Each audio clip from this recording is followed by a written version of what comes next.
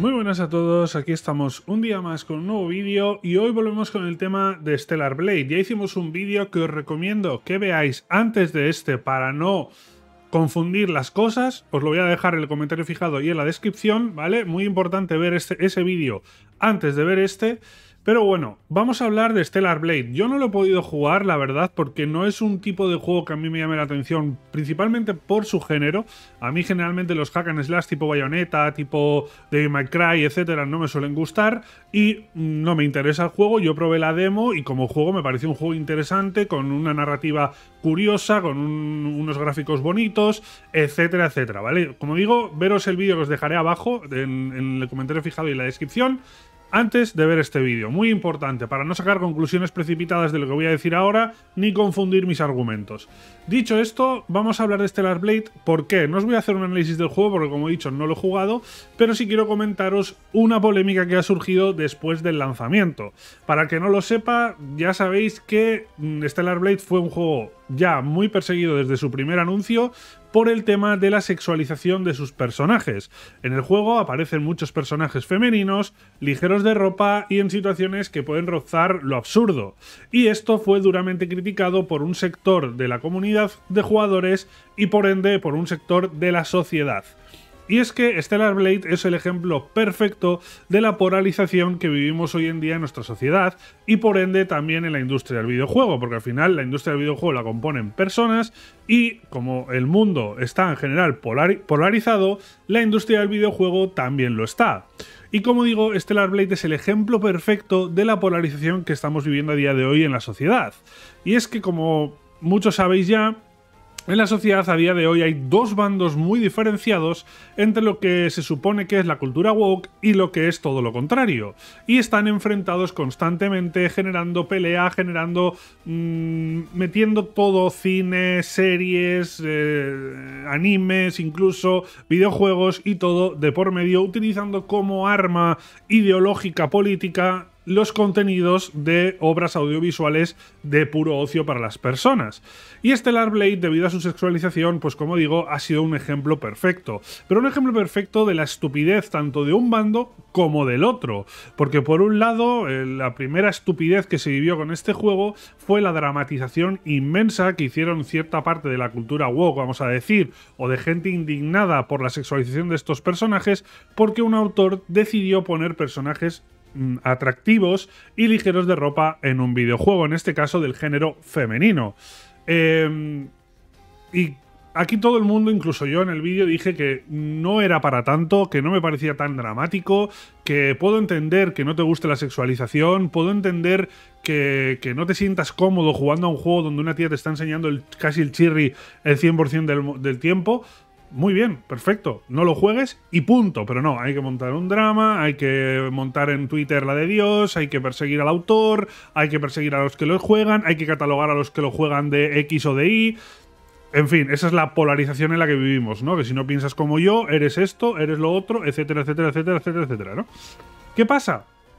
que hoy ha pasado todo lo contrario y vamos a desarrollarlo. Como veis, esto es un tweet de eh, la propia desarrolladora de Stellar Blade, donde confirmaban esto es del día 21 de abril, que Stellar Blade no iba a tener ningún tipo de censura en ningún país del mundo, incluido Japón, que suele tener bastante censura con estos temas, ¿vale? El caso es que Stellar Blade finalmente sí que ha llegado con algo de censura, ¿vale? Y ahora vamos a verlo y vamos a desarrollarlo. Para entender cuál es esta supuesta censura y qué es lo que está pasando alrededor de Stellar Blade a día de hoy, hay que ponerse a comentar este traje que veis aquí. Vamos a ver si podemos eh, aumentarlo un poquito para que se vea mejor. Ahí lo tenemos. Como veis, este traje, eh, que se llama, no sé cómo se llama en español, pero ahí veis cómo se llama Holiday Rabbit, tiene dos versiones diferentes. En la versión 1.0, que es lo que había en el juego antes del día de lanzamiento, tenéis la parte de la izquierda, que así es como era el traje, y en la parte derecha tenemos la versión 1.002.000, donde veis que el traje ha cambiado sustancialmente, ¿no? Ha cambiado, simplemente se le ha metido como una especie de bañador interno a este, a este bañador que tenía antes, donde cubre un poquito más la zona de las ingles y el escote, ¿vale? Y por esto se ha generado una indignación tal que hay una recogida de firmas de, ya con más de 30.000 firmas eh, pidiendo que acaben con la censura de Stellar Blade y, bueno, gente diciendo que va a devolver el juego, gente diciendo que no va a comprar ningún juego más de Sony, gente, bueno, gente, gente y gente diciendo cosas, ¿no? Yo entiendo que eh, la gente que tenga dos dedos de frente, los que de esos 30.000 que han firmado y tienen dos dedos de frente son personas normales como tú y como yo, más que indignados porque le hayan puesto un trozo de tela más al traje, están indignados por la censura, ¿no? Porque no quieren que censuren nada de lo que un autor quiere hacer. Y eso yo estoy totalmente de acuerdo. Si el autor quería meter este traje como en la versión 1.0 y finalmente le han obligado por alguna presión ideológica, por algún superior o algún inversor o lo que sea, a sacar este traje de la versión 1.002.000, pues yo estaría de acuerdo en la queja y decir no censuréis a los autores. ¿Cuál es el tema aquí? El tema aquí, para empezar, es que los propios autores del juego, los propios desarrolladores del juego, han dicho que este traje ha sido modificado por cuestiones narrativas, porque ellos querían exponerlo así dentro de su historia, no porque nadie les haya obligado. Esto lo han dicho ellos, hay vídeos por internet donde lo podéis ver, que lo dicen ellos mismos, que no ha sido un cambio obligado por nadie, sino ha sido una decisión propia porque les encajaba mejor en lo que querían contar. Claro, esto da igual lo que digan ellos. Da igual, en la polarización que vivimos hoy en día, da igual que el propio autor te lo diga en la cara que tú vas a decir que le están obligando a decir eso, que ha sido Sony y que tal y que igual. Entonces, al final, esto es un debate estúpido porque nadie va a aceptar nada y no hay vuelta de hoja. Y eso es lo que tiene, como digo, la polarización. La gente está tan, tan, tan radicalizada que da igual lo que escuches, da igual lo que te cuenten, da igual lo que leas, da igual. Da igual. Es más, la mayoría de gente ni escucha, ni lee, ni comenta nada. Simplemente ve un tuit donde pasa esto y automáticamente se suman a cualquier quema de bandera. Esto es así. Esto es la polarización en la que vivimos hoy en día, ¿no? Yo mm, no tengo ni que creer ni que no creer. Es decir, yo, si el autor dice que esto es así, me callo y punto. Ya está. Porque los mismos que varios de ellos, no todos, evidentemente, porque yo no, yo en, la situación anterior eh, critiqué mucho el intento que tuvo cierta parte de la comunidad de censurar Stellar Blade.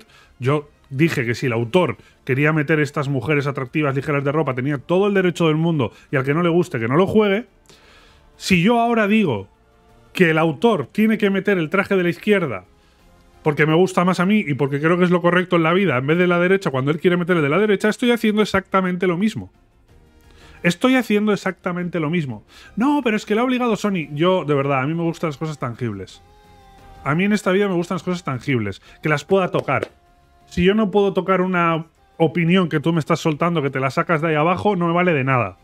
Yo lo único que sé es lo que ha dicho este hombre, lo que ha dicho uno de los desarrolladores de Stellar Blade, que también os digo, ha dicho que dentro del equipo están estudiando si este tema que tanto ha enfadado a algunos tiene algún posible cambio, si van a hacer algo con el tema de la censura, como algunos lo llaman, para contentar a todo el mundo, ¿no? Veremos a ver en qué queda eso, pero aún así, si e, ellos se ven obligados a cambiar un diseño que no quieren cambiar por la presión social, de, o la presión mediática de la gente, en Twitter, en foros, en pidiendo, cogiendo firmas y demás, también estarían censurando. Lo que pasa es que aquí el tema de la censura en el contenido audiovisual es como muy irónico todo. Porque la gente que se queja de censura y fuerzan a alguien a hacer algo, están censurando. es la pescadilla que se muerde la cola. Si tú, por ejemplo, hay un autor que quiere hacer una cosa y piensas que alguien le está cohibiendo hacer eso, piensas, porque no tienes prueba ninguna, otra cosa es que hubiese una prueba obvia de que el creador quiere hacer otra cosa, porque se ha filtrado una conversación suya, grabada con su voz, donde dice Sony me ha obligado a quitar este esto, o que hay pruebas contundentes de que el autor se ha visto obligado a cambiar este traje, ahí entiendo que tú puedas intentar defender la obra y que intentes que Sony deje de presionar al autor para que no haya censura en el juego. Pero es que tú no tienes ninguna prueba de que esto sea así. Tú la única prueba que tienes a día de hoy tangible y que se puede comprobar es unas declaraciones con vídeo y voz de uno de los creadores del juego diciendo que este traje no se ha modificado en ningún momento por eh, la presión social o por algún tipo de censura de algún país, ni por nada por el estilo, sino porque encaja más con la versión del juego que ellos quieren ofrecer. Por lo cual, cualquier cambio que quieras hacer tú ahí, estás forzando la misma censura que estás criticando. Y esto es así de simple, ¿vale? Y a mí, de verdad, que me da mucha rabia que haya cada día más pruebas de la polarización que hay tanto en la sociedad como en la industria del videojuego. Que no puede ser que seamos tan absurdamente estúpidos para que cada vez que salga cualquier juego, sobre todo si es exclusivo, porque se le busca hasta con lupa hasta el último detalle, eh, vengamos con dramas que duran semanas en, redes sociales, en foros, en Reddit, etcétera, por estas cosas. De verdad. O sea, mm, parece que hay gente que disfruta más de estas estupideces que de jugar los propios juegos. Y yo estaba a punto, por ejemplo, de no hacer este vídeo porque estoy del tema ya hasta arriba, ¿eh? O sea, estoy de este tipo de gente hartísimo. De que, de que estén juzgando que si hay un gay, que si hay una chica guapa, que si hay una chica ligera de ropa, que si hay un negro, que si hay un... Tío, dejar la libertad creativa de los creadores y jugar a lo que os gusta. Si no os gusta algo, mandarlo a paseo y fuera, ¿no? Por otro lado, eh, yo entiendo, como digo, que hay muchísima gente que ha criticado el tema de este traje, no por el trozo de carne de menos que se ve, sino porque haya una supuesta censura, ¿no? Pero por aquellos que critican que se vea un trozo de carne menos y que esto es un problema más de la cultura woke y de Sony y no sé qué, porque son lo que son y tal y cual, yo me pregunto dónde va este traje. Porque este traje sigue disponible en el juego. Este traje sigue disponible en el juego y enseña más carne que el anterior. Entonces, como digo, eh, si con el anterior han censurado, ¿por qué está este traje? Si hablamos puramente de la carne que muestra el personaje y no estamos hablando de un tema ideológico de yo no quiero que censuren al autor y a este le han obligado, porque claro, no tiene mucho sentido que a Sony o quien sea haya censurado el, traje anterior y no censure este, ¿no? Luego hay gente que ya te viene con unos argumentos que yo, sinceramente, no, no, estoy de acuerdo, en el cual no, es que esto es un bikini y los bikinis no están tan mal vistos, el otro es un bañador. Es decir, eh, lo que te escandaliza a ti un bañador que enseña más o que enseña menos es cosa tuya. Pero al final, un bikini, un bañador es lo mismo. O sea, son lo mismo. La otra cosa es que tú, por ver un trozo de carne más, te escandalices más o te pongas más cachondo. Eso ya es cosa tuya y de tu cabeza como la tengas. Pero al final, estos son dos trajes de baño diferentes. El otro, pues, no sé si lo puedes llamar traje de baño, pero viene a ser lo mismo. Podría serlo, tranquilamente, ¿no? Porque claro, si me vas a decir que la excusa para que no esté, no esté tan sexualizado o no esté tan. es simplemente que sea un bañador, te puedo poner el mismo traje con una tela de bañador y a tomar por saco. No me jodas, no, no tiene ningún sentido ese argumento, ¿no? Entonces, como digo, si fuese censura, este traje también debería estar censurado. Porque este traje, de hecho, muestra más carne de lo que muestra el otro. Entonces, ¿cuál es el punto aquí? ¿Cuál es el punto? ¿Qué queremos demostrar? ¿Qué queremos hacer? ¿Queremos obligar al desarrollador a que haga las cosas como unos o como los otros? ¿Queremos dejar claro cuál es el punto de la moralidad correcto, el de unos o el de otros? ¿O queremos jugar juegos? ¿Qué es lo que queremos? Ya está bien de tanta estupidez, de verdad. Tenemos una época, una época espectacular en los videojuegos donde estamos recibiendo un montón de títulos. Este año, que no esperábamos absolutamente nada, empiezan a salir algunos juegos como Stellar Blade, que en otro año probablemente hubiese pasado totalmente desapercibido. Y este año hay muchísima gente que lo está completando y diciendo que el juego es mucho más que estas cuatro tías eh, ligeras de ropa. Y hay que disfrutarlo hay que disfrutarlo. A ver si aprendemos un poco a deshacernos de, la, de, la, manía que tienen algunos de intentar cambiar el mundo, ¿no? Porque tú eres una mota de polvo en este mundo, eres una mota de polvo, y por mucho que se te junten 40 como tú en Twitter, no sois absolutamente nada. O sea, de los no sé cuántas miles o millones de personas que están jugando Stellar Blade, están hablando un 10%. Están hablando un 10%. Muchas veces hablan mucho más los trofeos de los juegos, por ejemplo, los logros, que te muestran cuánta gente lo ha completado, cuánta gente ha hecho X contenido, qué es lo que dice la gente en redes sociales. Porque hay muchísimos juegos, muchos, por ejemplo, un, ejemplo que os voy a poner, Elden Ring. Elden Ring es un juego del cual todo el mundo habla en Internet. Todo el mundo tiene una opinión sobre Elden Ring, todo el mundo adora Elden Ring, todo el mundo Elden Ring, Elden Ring. ¿Cuánta gente ha sacado el trofeo de terminar Elden Ring? Y ahí te das cuenta que hay muchísimo postureo de gente que no ha terminado ni el juego, pero habla de él casi a diario. Y lo mismo pasa con Stellar Blade. Hay muchísima gente que no ha tocado el juego, hay muchísima gente que ni siquiera tiene una PlayStation 5, que lo único que hace es estar rajando todo el día del tema porque es el tema de moda, porque es el tema de la. Eh, que, que está en medio de toda esta polarización que hablábamos antes, etcétera, etcétera, etcétera parece que no tiene otra cosa mejor que hacer. Yo de verdad, como he dicho antes, con la época en la que vivimos, los lanzamientos que estamos teniendo, con el Game Pass que tienes ahí 800.000 juegos para jugar, con todos los lanzamientos que hay, con ofertas de videojuegos en PC increíbles para tener juegos baratos para jugar a todas horas. No entiendo qué necesidad hay de ponerte, si amas la industria del videojuego, de ponerte a perder el tiempo una semana con estos temas, mezclar la política con los videojuegos, etcétera, en vez de ponerte a jugar. Yo, si pienso por un momento el tiempo que tengo en la vida para jugar, y pienso en perder una parte de ese tiempo en discutir estupideces en Twitter, es que, tío, no hay color. No hay color. Me termino un juego y me empiezo otro. Así de claro. Y no pierdo ni un minuto en redes sociales, ¿no? Igual alguno me dice ahora, estás perdiendo aquí el tiempo en, YouTube. No, yo aquí lo que hago es sacar una porción de mi tiempo para hablar de la industria del videojuego porque me gusta precisamente intentar aportar mi visión. Punto. No me vengas con esas, porque hay gente para todo en este mundo, ¿no? Eh, y poco más, gente. O sea, de verdad, yo lo único que diría es, me da igual de que el bando que seas, me da igual las ideales que tengas, me da igual eh, lo de acuerdo o en contra que estés con este tema, me la pela completamente tu opinión sobre, sobre qué debería ser y qué no, me la da igual. O sea, no me, nadie en los comentarios ni en ningún sitio me va a hacer a mí entender si este personaje tiene que ir vestido de una manera o de otra. Nadie. Eso tengo una opinión totalmente forjada, tengo ya 40 años y me da igual lo que diga la gente sobre este tema. Yo tengo claro lo que implica la sexualización, tengo claro lo que implica esto, lo otro, y nadie me va a hacer cambiar de opinión. Y lo único que me importa, si me voy a comprar Stellar Blade, es si el juego me va a gustar. A ver, hay un punto que puedo entenderlo, ¿vale? Hay un punto que puedo entender que es el hecho de que haya gente que esta sexualización tan exagerada porque es verdad, Stellar Blade tiene una sexualización bastante exagerada y no hay que esconderlo, no hay que taparlo, no es algo malo y es en lo que ha decidido el autor y si te gusta lo juegas y si no, no. Pero está ahí, la sexualización exagerada está ahí, porque evidentemente las chicas no van así a la guerra, las chicas no van así por la calle, generalmente, ¿no?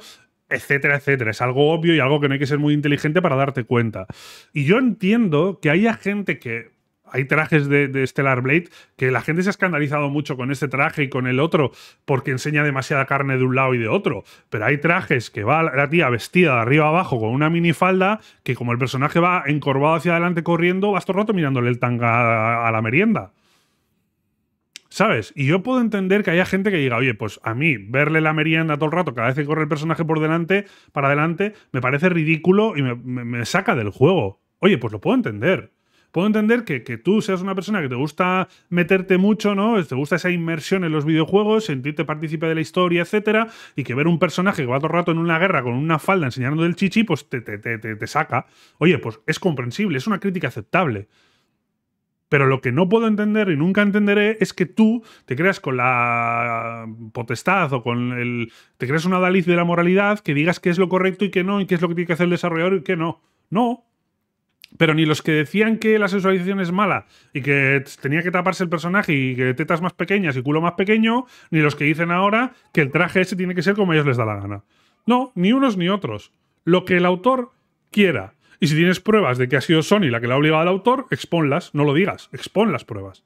Porque eh, aquí la gente muchas veces en las polémicas en general, ¿no? Pasa en la política sobre todo. Y ese es, es, lo he dicho ya varias veces, pero ese es el mayor drama que veo yo en la industria del videojuego, que las estrategias eh, políticas que utiliza la gente hoy en día, ¿no? En redes, para defender a su partido político, a, sus ideas políticas, etcétera, se están trasladando un poco a todos los ámbitos de la vida, incluida la industria del videojuego. Y ves a gente, tío, haciendo unos argumentos sobre la industria del videojuego que dices, madre mía, tío, madre mía, la, ¿sabes? El, el, mejunje moral, ideológico y político que tiene esta persona en la cabeza, ¿no? Es increíble. Pero bueno, gente, es lo que hay, esta es mi opinión. Recuerdo ver el vídeo anterior para entender mi opinión entera de Stellar Blade, porque este vídeo es una parte, una crítica a una parte, pero hice otro vídeo criticando la otra parte y es mejor ver los dos vídeos para entender la crítica completa. Así que nada, si os ha gustado el vídeo podéis dejar un buen like y nos vemos en el siguiente vídeo.